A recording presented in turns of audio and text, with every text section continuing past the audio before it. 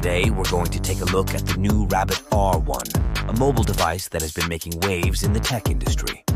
Powered by a large action model called LAM, the R1 is designed to be a more intuitive and user-friendly device than smartphones. Let's dive into what makes the Rabbit R1 so special.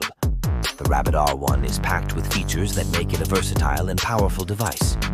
With its large action model, the R1 can understand your natural language and complete tasks with ease.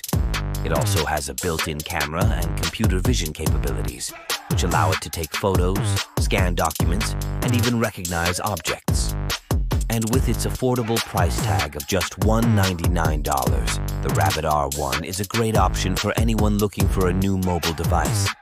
If you're looking for a device that is both intelligent and user-friendly, the Rabbit R1 is a great option. It's available now for just $199. Bad news is that the first batch is already sold out.